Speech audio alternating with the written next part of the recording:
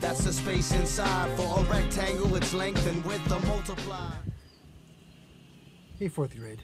So today's lesson, we are going to start with figuring out how to calculate the area of a rectangle or a square. Okay, we're going to finish this uh, lesson today looking at how we can figure out the area of an irregular shape. Okay, so something that's not a rectangle or a square. Okay, so we're going to finish with that.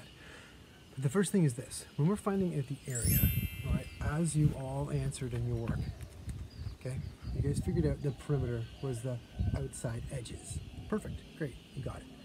And the area is what's inside the shape.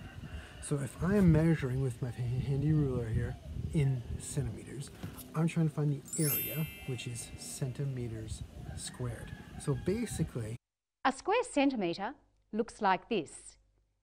Each side of this square measures one centimetre. I'm trying to figure out how many of these would be inside this shape. Now, it'd be crazy if I cut out all of these and I lined them up all the way across and I just glued them all on to count them and to count them and to fill it in. That's insane.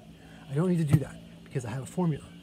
All right, all I need to do when I'm calculating the, the area is I need to measure across and measure down. So I measure the length of my object and I measure the width of my object. And I take this number and I multiply it by this number and that gives me the centimeters squared. A square centimetre looks like this. Okay guys, here's my example. I'm measuring length and I'm also going to measure the width. Alright, we've been playing a lot of cards here, especially war. I'm going to remember that my area equals length times width. I've already measured the length and my length was 9 centimeters. It was about 9.3 but I rounded.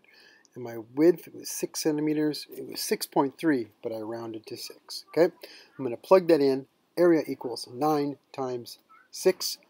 Area equals 54 centimeters squared. Now this is really important. I'm going to highlight this yellow. Here we go. Because if it was centimeters, it would be perimeter. But it's centimeters squared. You see on the bottom in green coming up. That is 54 of these fit over top of this deck of cards. And that's what I figured out for the area. Okay, fourth grade. So that's how you figure out the basic centimeters squared for a rectangle right here. Okay? Area equals length times width. Now, go find three objects around your house.